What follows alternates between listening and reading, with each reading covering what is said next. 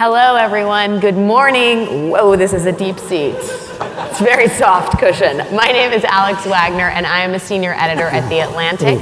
Welcome to the sixth annual Texas Tribune Festival, and welcome to our fantastic August panel, where we will explore the, the central question of American politics today can the center hold?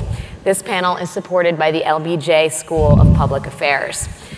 And now I'd like to introduce you to the fantastic women and men sitting to my right. Former Congressman, actually, let me go in order. Former Congressman Tom Davis of Virginia was elected to the House in 1994 and served seven consecutive terms. During his tenure, he was also chairman of the National Republican Congressional Committee. He is co author of The Partisan Divide Congress in Crisis.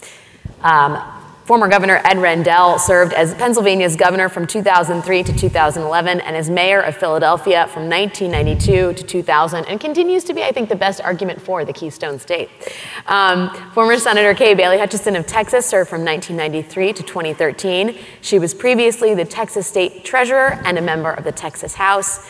And immediately to my right, former Governor Bill Richardson and Ambassador Bill Richardson served as New Mexico's governor from 2003 to 2011. He also served as a U.S. Congressman, U.S. Ambassador to the United Nations, and Secretary of Energy under President Clinton. He happens to be wearing the best tie on stage today, I think.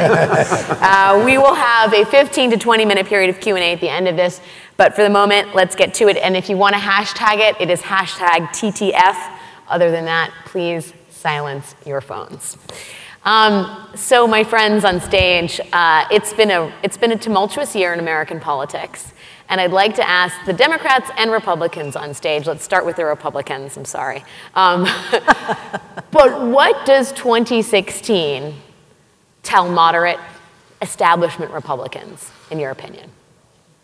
Kay Bailey, why don't we start with well, you? I think 2016 shows the either end of the spectrum, whether it's the far left or the far right, uh, the disgruntlement uh, that they have. And we're seeing it play out in the primaries, uh, both primaries. Um, I think center has become a dirty word. Mm. Uh, people want somebody who is philosophically on their radar and they're mad, they're upset, they're um, taking it out in the electoral system. And so, center to me means that after the elections, you work with whoever is elected from a state or by our country, and you do the most that you can within your uh, priorities, but you don't expect everyone to agree with you on every subject. There is no purity when we have 50 states that have very different needs and very different constituencies. So, um, what does the center hold for this election? Not much. okay. Congressman Davis, when you look at this landscape, I mean, what should moderate Republicans think at this point? Well, they don't think much. I mean, there's not a, a, lot of room for them right now. But you have to understand this that the issues, globalization, uh, trade, uh, wealth disparity, in other countries it's playing out with third and fourth parties. We're doing all this within a two party system. And instead of the parties centering themselves, to, they've moved out left and right to accommodate it. And the other problem is with the single party districts now, for most members, the, the only race that counts is the primary. And primary turnouts are very low, and you basically you, you get the, the more um, uh, I would say energized elements left and right that show up. We used to say liberals and conservatives have passion, moderates have lives. So th- they've been absent in the primaries, which are basically where most of these elections are decided. Uh, and until you change that, I- am afraid we're going to continue to see this. Uh, Governor Rendell, I'd ask you a version of the same question. If you are a moderate Democrat that remembers Clintonian third way centrism, what does 2016 tell you? Well, first of all, I'm not sure, sure that there isn't a place for people who are in the center. And I take uh, Senator Hutchinson's definition, I think is right on. If you look at three primaries that I think were very instructive Paul Ryan's, uh, John McCain's, and Debbie Wasserman Schultz. They were all challenged from the, the, the far right or the far left. And they all won by surprisingly large margins. A lot of money went into the campaign against Paul Ryan, and he got almost 85% of the vote. John McCain clobbered his rival, and everyone thought that would be close. Debbie Wasserman Schultz, notwithstanding all the trouble she was in, beat back a, a challenger who was funded fairly significantly by people in the Sanders wing of the party. So I'm not sure that it's been as bad a year for the establishment or center people. I think the presidential election, first of all, tell me where Donald Trump is. Is he far right? is he moderate? Is he liberal? Uh, someone said we have two liberal Democrats from New York running for president, right. well, and I suspect they're probably right. I, I, let's talk a little bit about Hillary Clinton in specific, because the governor raises what's happening uh, in congressional elections, but Hillary Clinton has moved much further to the left than, for example, her president ever, her president, her husband, and the other former president, uh, President Clinton was. So, you know, what does that tell you about the state of Democratic politics right now? well, I just want to say I'm very pleased to be here at the university. I have my papers at the Briscoe Center, and I'm not dead yet, so. But my answer Congratulations is, on that. That I'm not dead or yeah, oh, okay. both. both. One one being more urgent than the other. You know, I I I think I agree with what Governor Rendell says, but I think there has been a transformation, a shift in the Democratic Party. When I was, you know, in the Clinton the Clinton years in the House, welfare reform, mm-hmm. free trade, balanced budget, uh, grow, economic growth was a big big issue. Um, I think Bernie Sanders, and I think to his credit, has talked about issues that fuel the reform movement that exists in the American people, the frustration, at least on the Democratic side. So that has moved the party to the left. I, I think there's no question about it, even though Ed's right. You know, there, every race uh, has its own distinct color. And, and you know, you, when you're a member of Congress, you're, you're entrenched. It's, it's tough to lose. You know, what I hope happens is that there be a rise of the Tom Davises and Kay Bailey Hutchinsons, the moderate Republicans, uh, after this election so that we can get something done. So this dysfunctional Congress doesn't continue. And I think the only way that'll happen uh, is with moderate Republicans uh, you know, I, I, I, saw Tom Davis was a real, you know, operator in a positive way when we were in the House, but there's nobody there anymore that, that does what he used to do. So that's my hope that the message, obviously, I want Secretary Clinton to win, but I, I, I want to see a vibrant, moderate Republican Party because if you look at the great legislation in this. Uh, that we've had the Lyndon Johnson stuff, civil rights, uh, highway system, uh, environmental legislation. It was all done on a bipartisan yeah. basis. Energy, you, you can't do that anymore. Uh, uh Congressman Davis, you, you, you brought up um, con- congressional districts and primarying. I, I'd like everybody to weigh in on this. And it's sort of a multiple choice question. If, what do you think is the greatest threat to sort of centrism and the centrist voter? Is it sort of electoral manipulation in the form of gerrymandering and um, money and its influence in the political process? Is it the great sort, the moving of Americans separating themselves to mm-hmm. sort of ruralists and urbanists? Or is it technology and media bifurcation, where people can sort of listen in their own echo chamber to folks who are like minded and agree with them? Which of those has been the most threatening to the well, center? I think they all play a role. It's, you put them together, it's, it's combustible because the money's moved away from the political parties out to, for basically the wings, although your more centrist elements are starting to get organized and starting their own super PACs now that, that are coming in uh, for more centered uh, candidates. Uh, the districts, it's not just the sorting, it's the gerrymandering, and of course the Voting Rights Act. I mean, the Deep South, all you have are black Democrats and white Republicans, and no need to talk to the other side because they play no role. But I think this is the big culprit.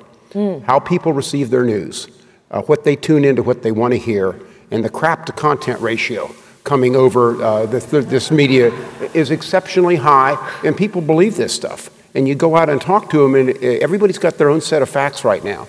So I think we have not learned to cope with that. I think that's, that plays a huge factor uh, in these races. I'd also just add one other thing. Ed, it's true that this year uh, moderates won some of the high profile races, but what members do is they, uh, they move themselves right and left to protect themselves. So you beat one Eric Cantor, it sends a, you know, a, a chill through the ranks. Now, this year, for the first time, they beat one of the Freedom Caucus members, Huelskamp in Kansas, and maybe that sends a chill the other way. There's starting to be uh, some folks coming back saying this stuff is getting out of hand. So I think there's some hope. Let's let, let, just to go back to that multiple choice question for a minute, uh, Senator Hutchison. When you think about the sort of biggest threat to the center, it, do you, would you agree with Congressman Davis that it's it's about information and news and people sort of picking what they want and listening to like-minded folks, or do you think that it's something else? I agree with the things that you brought up. I agree with the congressman. Uh, I would add one more thing. And I, I do think gerrymandered districts, so that primaries are all that matter, have made a big leap toward people on the uh, ends of the spectrum um, getting a leg up in a primary. I would say look at the states that have open primaries, mm-hmm. where you can go in, Louisiana, our neighbor, uh, you can go in and you can vote for a Republican for governor and a Democrat for lieutenant governor and a Republican for attorney general and a Democrat for state treasurer uh, based on what, who you think is the right person. If we open our primaries to letting people pick and choose, then the top 2 mm-hmm. Will rise to a runoff unless someone gets 50% outright. And it could be two Republicans, it could be two Democrats, or one of each, which is the norm. So I think doing two things uh, better districting to encompass um, interest groups that are more similar in need, mm-hmm. like uh, a city like Austin, I think, has at least maybe four congressmen, if not five, because you do the pie shaped thing. And uh, so it's people, it's not all people who have the kind of interest of the city of Austin that are able to rise up. Governor Richardson, Ambassador Richardson, so many titles, Secretary Richardson, where can I stop? Um, How about Your Highness? No, just. we'll work on that. Um, what about, I mean, so let's talk about gerrymandering and redistricting because it's been going on, it's been practiced since time immemorial. The, the 2010 redistricting, largely at the hands of uh, conservative legislatures, has been, I think, the most virulent in a lot of ways. Um, and, and I'm not sure it served the Republican Party in Congress all that well. Do you think there will be, in, in time for the 2020 census, do you think there will be a moment when Democrats and Republicans alike say, this is crazy and we need to, we need to take, we need to make this a nonpartisan process? I'm not sure. You know, the, the biggest problem, and your question, the threat to the center, is the first one is gerrymandering, it is redistricting, and it's very simple. Members that are elected, Congress, uh, state legislature, they don't want to give up their seats. They don't want to give yeah. up power. So you could have a district that all of a sudden becomes very Hispanic. And the incumbent is going to do everything he or she can to stay in power. And so you're fighting against an incumbency that is entrenched. Uh, hopefully, something will change. Another threat to the center, I believe, is, is cable TV. Uh, to be successful in politics, to raise money, to, to gather your supporters, you got to be either on the far right or the far left. The center, there, there is very little room. I mean, you can see with the rise of uh, conservative networks, and you can see it in certain social media sites. Mm-hmm. You can see it uh, across the board in uh, fundraising, super PACs. I think super PACs are, are the worst thing that's ever happened. And I believe that the fundraising, the number one, and I think the senator made some very good reform arguments, is, is find ways, you know, public financing, I think that's the best solution, but I don't see it happening. Um, some way to curb the influence of, of PACs and, and special interest money, although, you know, all of us, you know, we take it because it's part of the system. Right. Um, so I, am and I think the center is where potential agreements on on jobs, on infrastructure. And Ed, Ed Rendell is a leader in this country of, you know, promoting uh, jobs through infrastructure. Um, national security, national security bipartisanship should continue, should, should come back again. It's, it's gone in foreign policy totally. Only, I believe, if a viable center in both sides emerges and gets stronger. Governor Rendell, let's talk about Pennsylvania. You know it well. Um, it's a swing state. What does the centrist voter even look like in this, in this year? Well, it's interesting. When you're talking about mayors and governors, they run in general elections where, of course, the entire electorate votes. So you get more centrist governors and more centrist mayors on both sides, Republican and Democrat. For example, on TPP, mm-hmm. 44 sitting mayors, Democratic mayors, wrote to Congress urging them to approve TPP because mayors have seen the benefits to their cities. 14 former Democratic governors, myself included, wrote to Congress to support TPP because in my eight years as governor, we invested a lot of money in getting our smaller and mid sized manufacturing companies that never did export before to start exporting. We tripled the amount of exports that came out of Pennsylvania, creating a ton of good manufacturing jobs. So, but we run in the entire electorate. So we have to appeal. The most interesting election that makes the point that Senator Hutchinson made was when Senator Cochran, the Republican from uh, Mississippi, was running in a uh, uh, open primary, and it was a runoff, and he was running against a Tea Party candidate who was far to the right. Cochran won with the help of African American Democrats. Yeah. African American Democrats. So the senator's right. It even redistricting, when there's citizen initiatives, ballot questions, citizens are taking back the redistricting process, but not all states have ballot initiatives. So the key is an open primary, either what the senator described, which is a jungle primary, meaning mm-hmm. No, no party affiliations. You can have a party affiliation, but the top two appear in the general election. And for example, in California, the top two Senate candidates are both Democrats. Democrats. Or an open primary, which just says anyone can go in and vote in either primary they want. That's really the answer because it brings the center in and the candidates have to appeal to the, the centrist voters. If you look at trade, if you poll trade, trade is not overwhelmingly disapproved by the American people. There are a ton of Americans who believe trade is a good idea, obviously, trade with the right conditions and limitations, and they would be heard from in a open primary. The jungle primary. Right. I just like saying jungle primary. Yeah. um, conjures up great images. it's Darwin, electoral Darwinism. Um, uh, Congressman Davis, the center is where things get done in Congress, Correct. right? So I, I ask you to sort of extrapolate from a scenario in which Hillary Clinton is president, but the Republicans keep the Senate. What do you think, if anything, the American public can expect from Congress, from the center, by way of legislation in the first two to four years of a Clinton administration? You know, they may be fighting over the appropriations into the next year. We just don't know, and they've debt ceiling, and these are always tough votes. But I think it depends on her. I think at this point, and her willingness to move over, uh, and I think the Senate will accommodate themselves. The House is a little bit tougher, but what we've seen is when the Senate takes leadership, sometimes they can stuff the House. Uh, so I think it's that, that's very, very critical.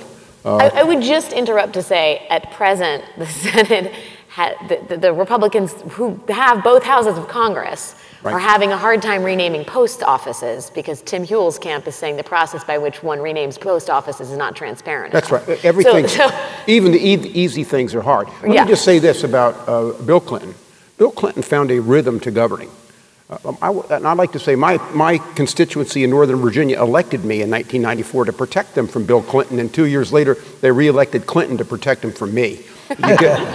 But, but you do have people there who want things done. But he had a rhythm to governing. You could blast him one day, and the next day he'd sit up there and send somebody up and negotiate your bill. The, the, the leaders after them have had a hard time doing that. Yeah. There is a rhythm to governing, but it really depends on the chief executive. Uh, the governor, uh, Rendell, had that rhythm to governing in Pennsylvania, but it's not easy to achieve with these interest groups out there. If I could just jump in. Uh, of course, I had the rhythm of governing because we had earmarks. Right. And it was amazing Right. how many Republicans. Wait, do you think earmarks need to be brought back? I I would love to No, see some them- people will say yes. I would love to see them brought back with cer- certain constraints. Yeah. But I'd like to see them brought back because it gives you a currency. Right now, one of the problems is there are a lot of people in the Congress who don't want to do anything. And if you don't want to do anything, it's tough to make deals with them. But I, I think Tom's right. If you look at this Senate on immigration, 68 votes for immigration, uh, 17 Republican senators, I think, 17 backed it. And then it goes to the House. And in the House, the biggest problem is something, a, a rule of the Republican caucus, which was named the Hastert Rule. I assume it's in the process of being renamed, but it was named the Hastert Rule. Just a hunch.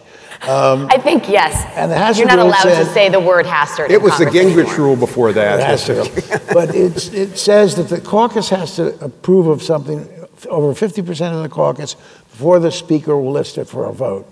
Well, if John Boehner had taken that Senate immigration bill Yeah. and put it on the floor, there were 35 to 40 Republican congressmen, including all of my suburban Republican congressmen, who would have raised their hands, voted yes, and we would have had immigration reform, which was basically, I think, a good bill for America. But so the key, if Hillary Clinton becomes president, the key person is Paul Ryan. Yeah. Well, let's let's Governor Richardson. I know you wanted to get in here, and then Yeah, I do.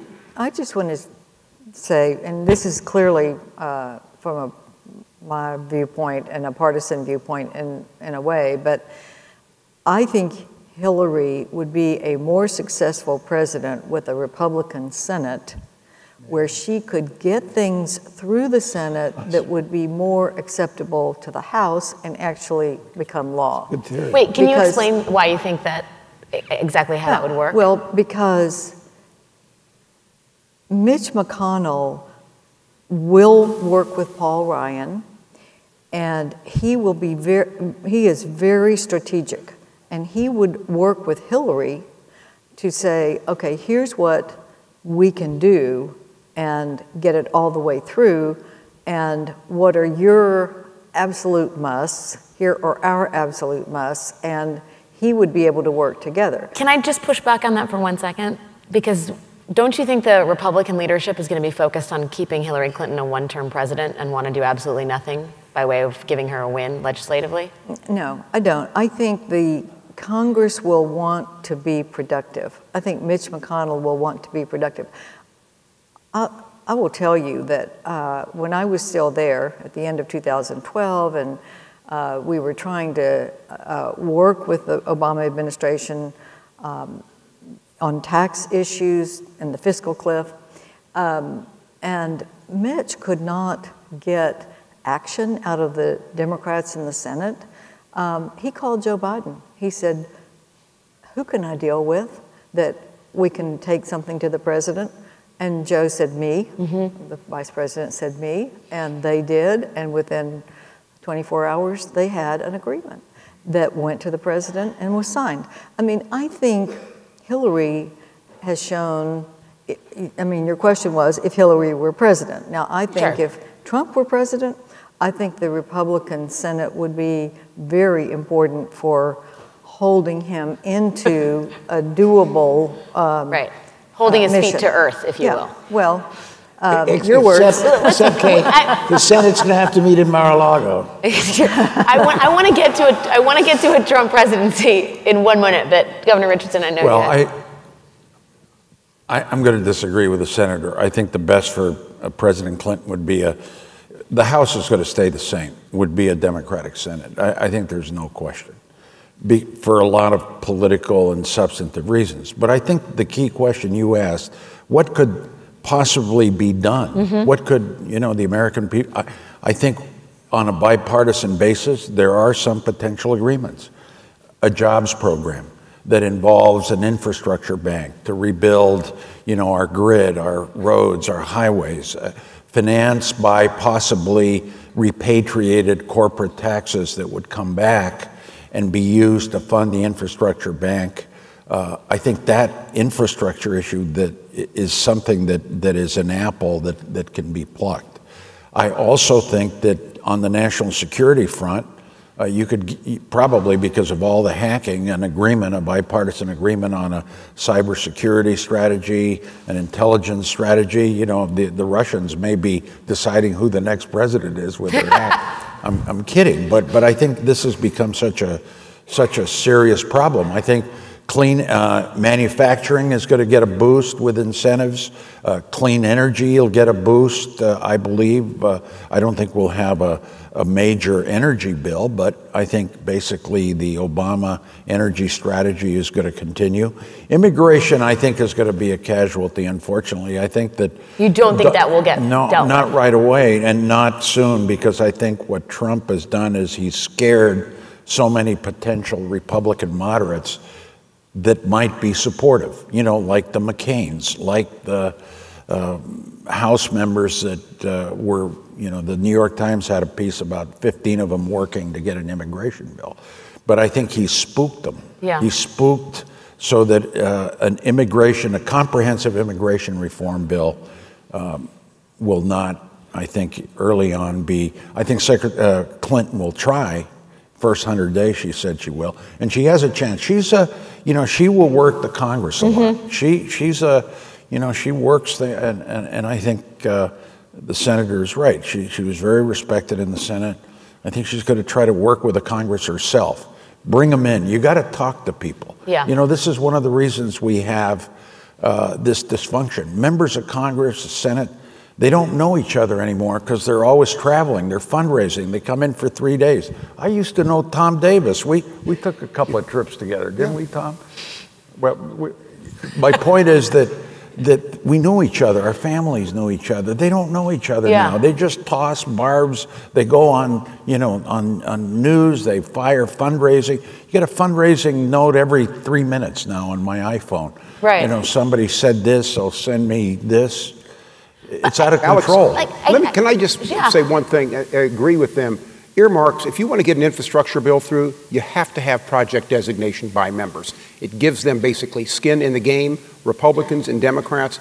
Uh, Since they took those away, it may be a good soundbite, but think of it this way. You've let the Republican Congress let Obama des- designate where the money is going. Yeah. It's a huge transfer of power. It doesn't make any sense. Secondly, it, it gives leadership some tools so everybody has skin in the game and pass it and allows members to personalize their districts. If they will go back to this, I think both parties want an infrastructure bill, but you can't do it without giving members uh, uh, something to bring back home. Can I go back to this point that Governor Richardson is making about people spending time with each other? Um, th- this moment in American, I, I, I think a lot of people understand that, right? That makes a lot of sense. At the same time, the climate is such that just being in Washington is seen as being in a bad place. Chumminess, inside, backroom deals, which is in fact where legislation gets hammered out and passed, that has been vilified, that whole process.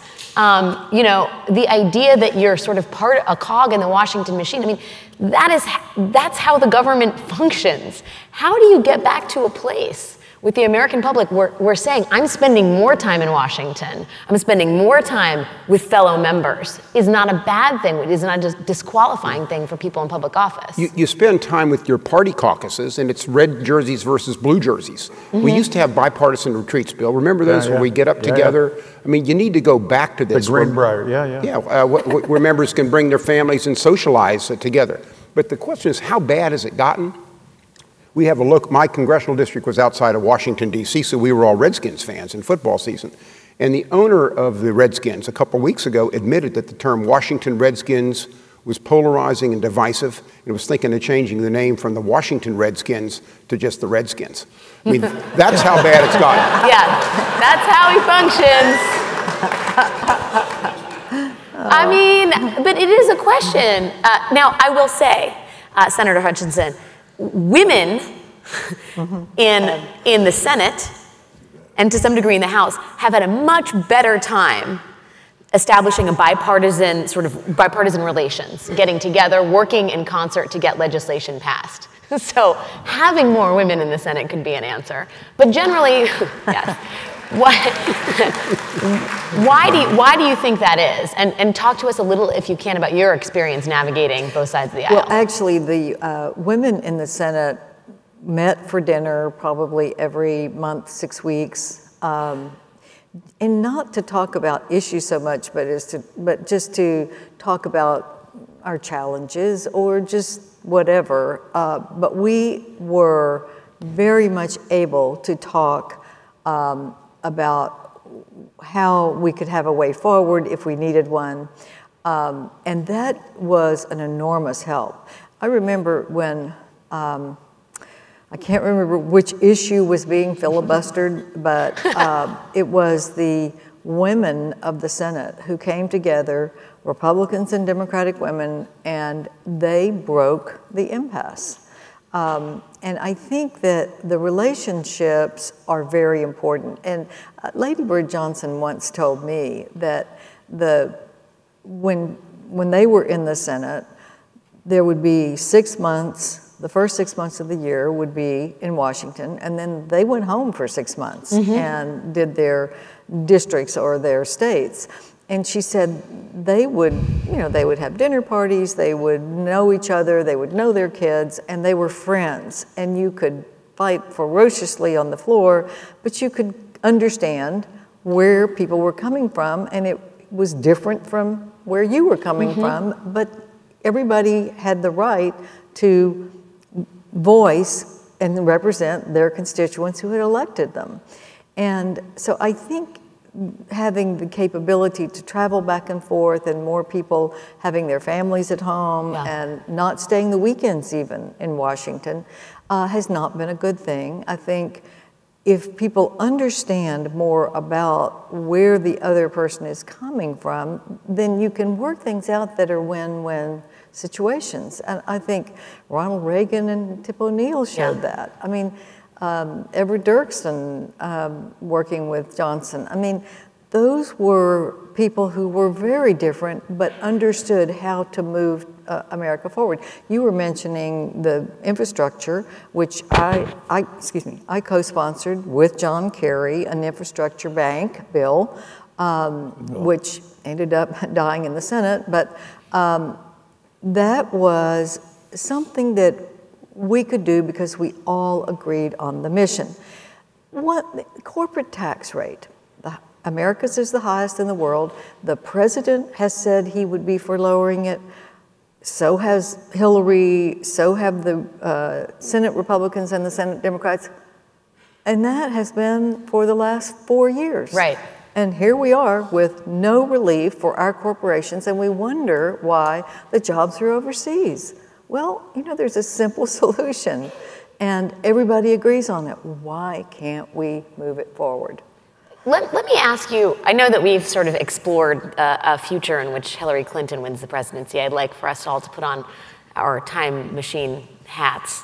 Not that hats can be time machines, but Governor Rendell, if Donald Trump becomes president, it, you suggested this a few moments ago. Is there a chance that he governs from some strange middle and that it actually is a boon to centrism?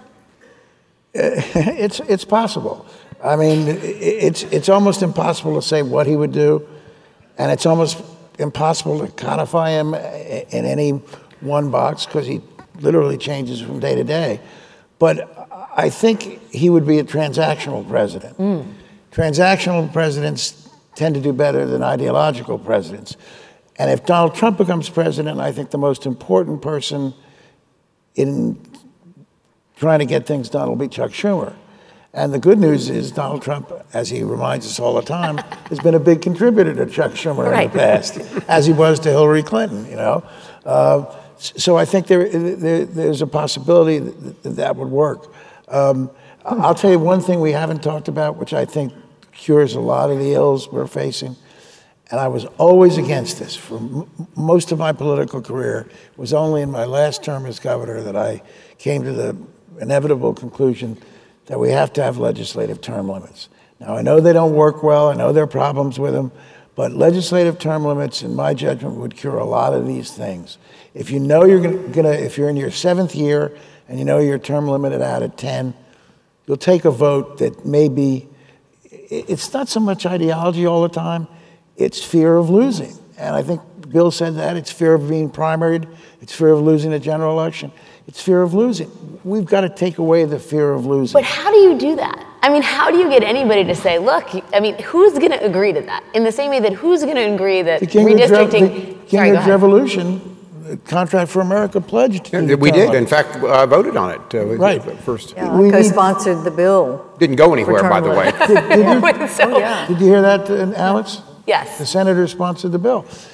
T- term limits, we used to have citizen soldiers.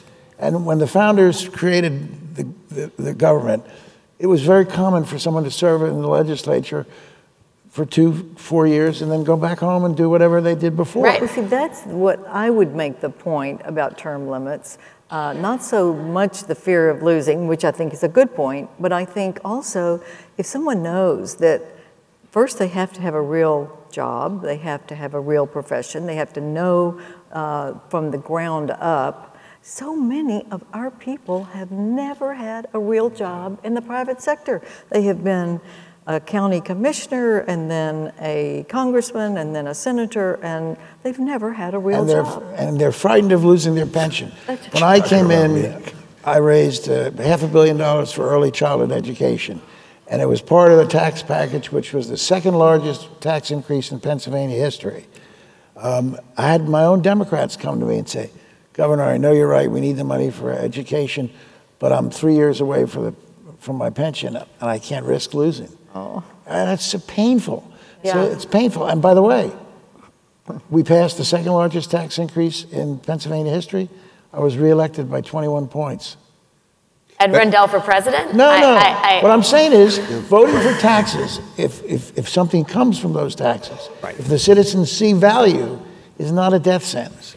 Uh, Look, the problem with term limits is it takes a constitutional amendment. That's just a very uh, High bar. tall yeah, hill that you have to climb. Uh, I, I think it would probably go through the states for Congress, maybe not for state legislators.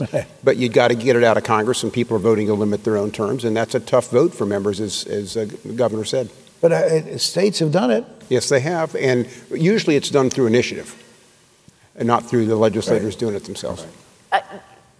Governor, let me let me go back to the the, tr- the Trump question to you in terms of what what the implicate because we're talking a lot about sort of the present and if we look at the future, w- do you think there's room for moderation and centrism in a Trump administration? You know, God help us, but um, right away, no.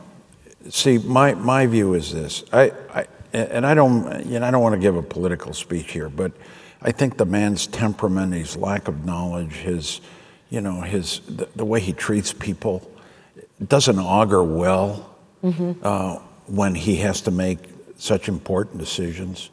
So I'm not very very optimistic and positive. What I would like to see if that happens, and I don't think it will, but if it does, I want a strong Congress to ch- check on him. To uh, and and and that's Republicans and Democrats to, you know, say you know you can't you can't do this because most of what he wants to do uh, has to go through Congress. Uh, you know, except some of the immigration stuff, the the banning of, of Muslims and you know the, the, the deportation, the courts have even halted Yeah. that with so. I, I don't see even though you know you don't know where, where he's coming from. Um, I, I just you, you have to look at the person's character and, and I, I don't I'm not very optimistic. I mean I, I just You don't see- you don't see would- no, no, no. moderation. You don't But- see but- moderate in But I will say this: I have been wrong about him. I thought he was not going to make it through the first primary. I've been wrong about Bernie Sanders doing so well. I've been wrong about, you know, I thought that if, I thought John Kasich and I thought that uh, I thought that uh, Bush. Bush uh, we're going to do we're going to do a lot better. Uh, so I'm out of touch. I, I so so don't take my But but you you are all creatures of American politics, and we're going to go to questions in just a second. I would ask you, you know, we've talked about systems that I think encourage bifurcation, whether it's technology, gerrymandering, money in politics, the media. Do you think that the American people themselves are becoming more extreme? Sort and and this is to the question of sorting themselves into rural and urban areas, surrounding themselves with like-minded folks, not just the not just listening to the media, but uh, developing communities where one opinion is shared and that, that opinion is held closely. I mean, is that fact or fiction? I'd start with Alex, you. let me start. I, I think, I don't know that the American public has, but I think the party activists have. So I think the people, if you take a look at voter registration, the fastest growing group are independents. It's not Republicans or Democrats. Now, they're not all moderate, all independents, but the party activists have certainly moved right or left. And the polling shows that Republicans are more ideologically right than they were 20 years ago. Democrats are more ideologically like self described.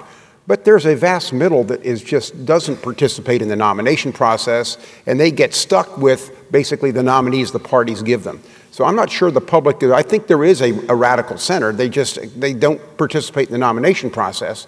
And so they have to make the most of what they're given. Is that their fault? Sure. So go ahead. Well, I, I just think they're all Americans right now, most voters, there's an unease out there about income inequality, about jobs, lack of opportunity, manufacturing jobs leaving. Um, you know, a sense that, you know, maybe Wall Street's doing well, uh, maybe certain people, the 1% are, but, but what about me and my family and student loans? So there's an unease there. I think the American people basically are, they're intelligent. They, they know what's going on. In the end, they do the right thing. But when there's such leadership, such little leadership given to them as options, you know, they, they go into a, a shell and they, they're, they're angry and they, you know, the Tea Party, I, I, the Tea Party forms. And so um, I, th- I think what, what basically is needed is, is somehow to be practical. And, you know, I, I, I agree with Eddie about term limits, but it's not going to happen. You know, you got a constitution. A member of Congress doesn't want to give up their jobs. Uh, you know, forget it. So it's a, it, I think it makes sense. Maybe some advancement there. Public financing, I think, some kind of campaign reform. Maybe the Supreme Court will get rid of, you know, the super PACs. That, that would be some progress. But, but I think eventually, both parties have to answer this issue of income inequality, of job opportunity, of this technology that is at the same time a, a, big boon to our country. Somehow, you know, privacy issues, somehow issues relating to um, inflaming without any kind of accountability. We, we have to deal with that. And, and I think that's what's fueling a discontent. I think the American people, voters are smart. They eventually see what's going on. And our system, I, I know this sounds corny, I, our system works. You know, the Congress, if, if Trump is elected and he starts, you know, going off, I bet you the Congress says, hey, hey, hey, wait a minute, wait a minute, this is not how we do things. Does the system work? Well, the checks and balances clearly does work. The courts can be a check on a, on a president, the Congress can be a check on a president. But to go back to the original question, I think there's cause for optimism because even though the right and left have been built up and they're ideological, when the American people are asked the poll question, do you want members of your, your Congress representatives to work together and compromise to get things mm-hmm. done? 70% of the American people answer yes. There are some people out there who say, no, I don't want them talking to the other side, I don't want any compromise. But 70% of the American people, an overwhelming majority, want to get things done. And I think, it, say you're Paul Ryan's political advisor, Hillary Clinton becomes president. Paul Ryan, I believe, one day would like to be president. Does Paul Ryan choose to screw up everything Hillary does to run against her in 2020? Or does Paul Ryan say, I'm going to make the American government work we're going to get things done on energy. On That's pretty selfless. And run for president in 2024 as the guy who made the government work. What do you choose? And do, and do you think Paul Ryan will get the credit, though? Get if what? He, if he does make the government work again, you don't think that the Republicans will see that as giving some victories to Hillary Clinton? If someone makes this government work again, I think they'd, they'd be carried down Main Street in a, uh, on one of those chairs. no, I'm serious. And plus, I do believe Paul Ryan, in his heart of hearts, wants America to move forward. And I, I think Kay is right and, and, and the congressman is right. It depends on the president. The executive, and Bill can tell you this, the executive has to make the first move. If there's going to be compromise, if there's going to be cooperation, it has to come from the executive. I said to my legislators often, you can blame it on me. When I did the tax increase, I needed 18 Republican votes in, the, in the, my House of Representatives. I wrote a letter out and I said, I will send this letter to everyone who votes, any Republican who votes for the tax increase. And the letter essentially said, Dear Representative Smith, your vote on the tax increase was important to the future of Pennsylvania. Your constituents should not hold it against you. They should say it was a positive step, and you can use it in your campaign for reelection. and guess what? They used them? I got the 18 votes, and some of them used How it. many of them were reelected? All of them. No, in marginal All of them. districts, Only one incumbent uh, lost. in Senator marginal Hutchison, districts, that's a good housekeeping seal of approval. wasn't it? Absolutely. Senator Hutchison, let's finish with you before we go to the audience. Is there, as has been proposed, some quiet but nonetheless substantive, temperate American middle that we're just ignoring? Oh, yes. I, I think there is a There's a quiet, pause. a quiet, silent majority out there who um, are very um, unhappy with the choices that they have um, of the nominees of the parties uh, up and down the ballot. Um, yes, I think, and They, that they had 17 Republicans needs- to choose from, though. I mean, I just, at what point can they find something to say yes to? Well, I think more people have to bite the bullet and get involved in party primaries because if only the ideologues are in the party primaries, then you're not going to have the candidates that have that more uh, centrist view. I mean, I don't consider myself a moderate. I consider myself a conservative, but I work with the people who are elected by the people, and um, so I think you can have a party uh, label, but you've got to vote in a party primary, and you've got to go to the precinct convention after the vote is taken to make sure that the platform is something that you can live with. It's, it's interesting. In European countries, there, there, there's the center, and there's the center right and the far Yeah. right. There's the center left and the far left. Senator Hutchison is clearly a conservative, but she'd be in the center right if this was a parliamentary system of government. And certainly Tom, Tom would have been probably right smack in the middle of the center. Bill would have been the far left. And Governor Rendell would Bill be. would have been the far left. I would be the center left. Okay, on that, let's go to the audience for some questions. Uh, there should be mics floating around, I believe. If you want to raise your hand and direct your question to someone on stage, and please try and keep the questions concise. Thank you very much. Uh, I'm Sandy Dochin, locally with IBM. Obviously, we predictably are very much for TPP. Governor, you, you brought that up. What has business done wrong, or what have others done wrong in not making the argument for it? Is that we need to talk about more job training, retraining? Um, I think it puts the U.S. at a huge disadvantage, regardless of what company I'm with, if it doesn't happen. How can we all do a better job of explaining that to people who just seem to be worried about it and confused about their future? Governor Rendell, Well, TPP. the, the problem is explaining why trade is good for America requires a nuanced answer. Donald Trump has a very simple message. You lost your job because of trade. Easy to understand. Not necessarily true. Probably four out of every five manufacturing jobs that have been lost were lost to technology, not to trade. And different type of manufacturing jobs are created by trade. But it's a nuanced message. You've got to get people to listen and to think it through. For example, all these people who hate trade, where do they shop? They shop at Walmart. Where do 90% of Walmart's goods come from? Why are they so low priced? They come from China. Okay, you're against trade? No more Walmart. No more Walmart. You're against trade? Well, you're not driving a Toyota anymore. You know, it's, it's, a, it's always difficult in politics for the people whose message to be understood, who have a nuanced message, message to be understood, have to talk a little bit of time. That's why the debates, the debates, absolutely two minutes to answer questions about how to get the economy moving again. Good It's too long, isn't it? It's Yeah, too much much too time. long, much too our, long. our next question over here. Thank you. Um, I just wanted to ask the two Republicans on the panel if they're supporting Donald Trump and why or why not.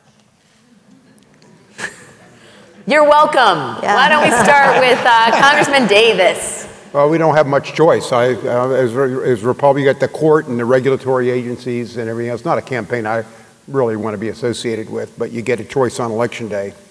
So that's a yes. I'm not answering that question. Okay, I think that's an answer in and of itself. Um, I, I, I will guess where the two governors' hearts are on that question. Over here. Hello. Great discussion. My name is Henry Price. I am a student. You guys have said a lot today that I can really, yeah, I took some notes. You said the fastest growing group of registered voters are independents, that there's a dearth of leadership options in Washington. You mentioned that checks and balances do work, that the silent majority is unhappy with the picks, and that there's a multi party system in West Europe that works as well. That being said, what role do you think a third party can play in making sure that the center holds? Yeah, Governor Richardson, do you want to check, take a stab Well, at I'm a strong believer in the two-party system. I think the best reform comes within the two parties. Um, um, I, I think right now, um, the, the, uh, the, the party that uh, former governor of my state and Bill Weld, uh, the Libertarian Party, d- is not going to make the debates. They're not going to get 15%. Will they be spoilers? Uh, possibly. I don't think so. I think both parties have their constituency.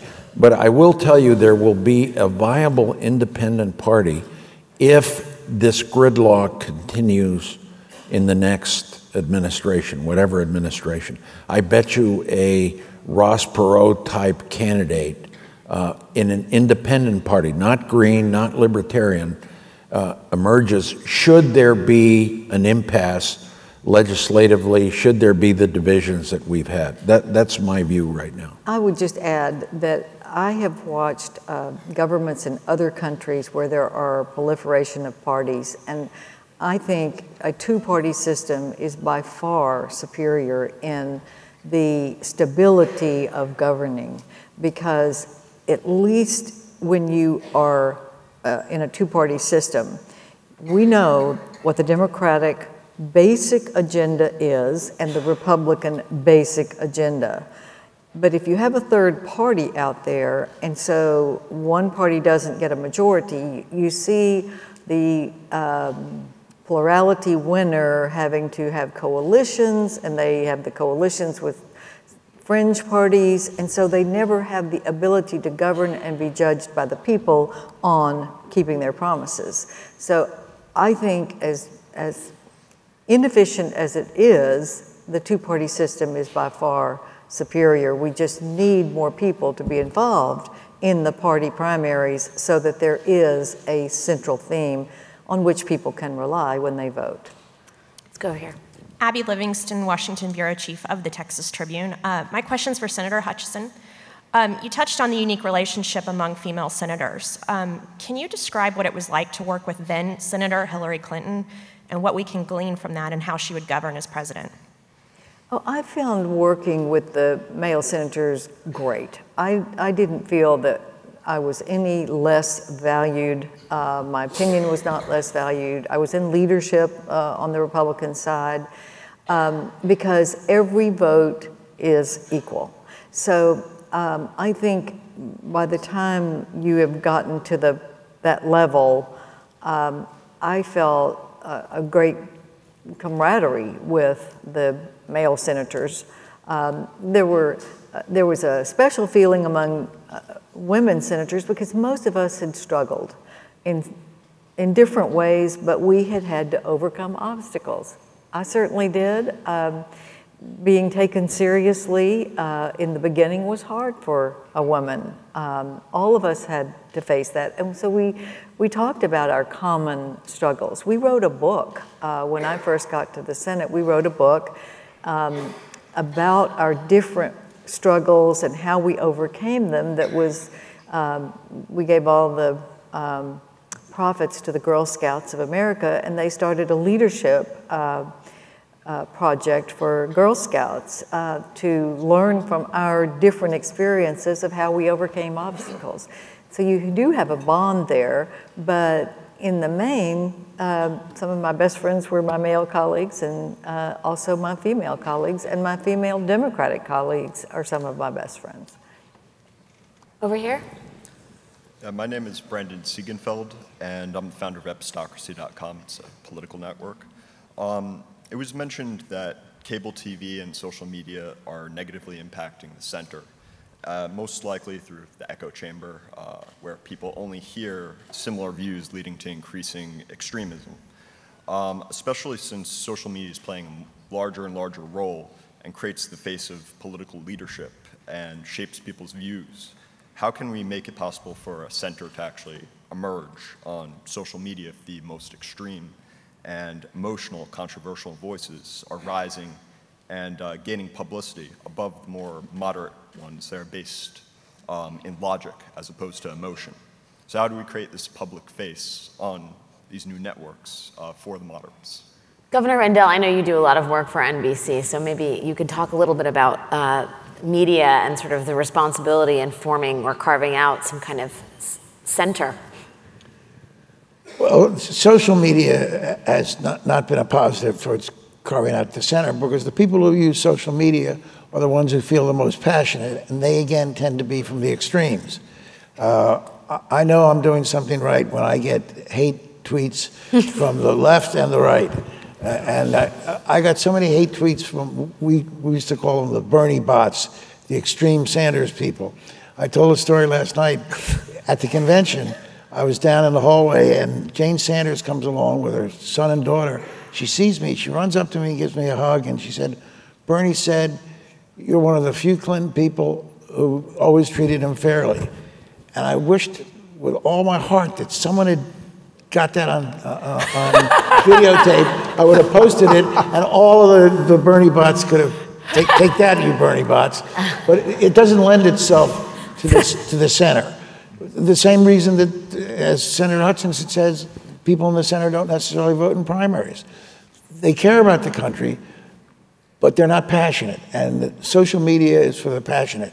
If I was king of the world and could make one change in social media, you have to give your real name. Right. Yeah, and your photo of yourself. Your thinking the same thing. You give your real name. I'm yeah. so sick and tired of getting uh, tweets, uh, vicious tweets from you know, Jack, Jack and the Beanstalk or whatever.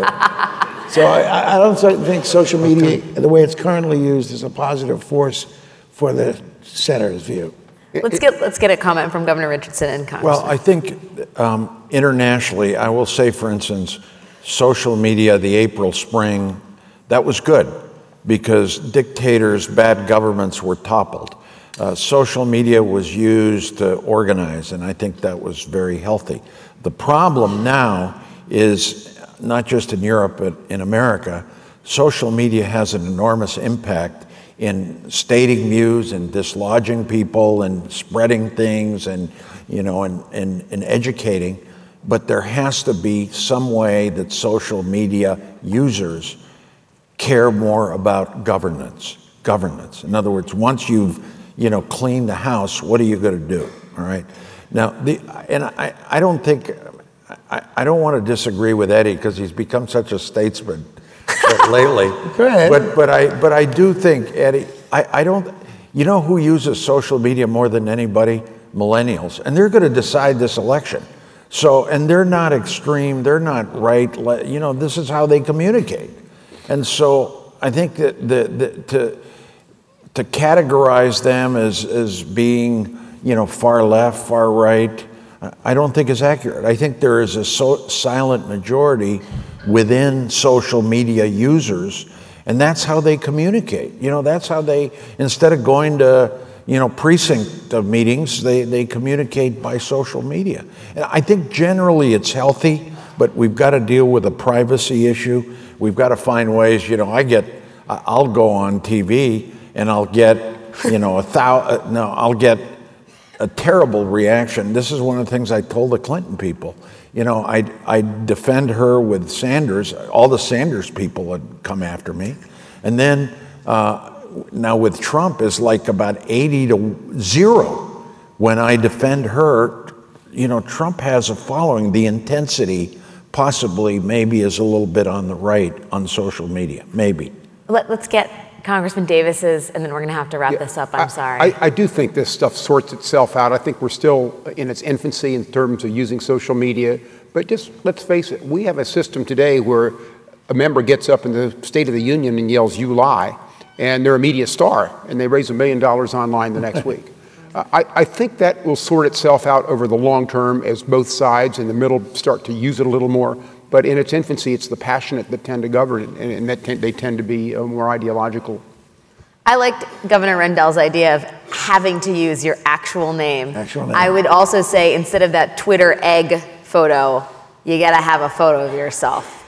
Culpability. All right, we are going to leave it there. I will make one quick housekeeping announcement. The Texas Tribune has arranged for a sampling of Austin's premier food truck vendors to serve lunch under the UT Tower on the university's main mall. Our programming will resume at 1:45 p.m. That is all for us. Big thanks to our esteemed panel. Thank you for coming. Thanks for participating in the festival.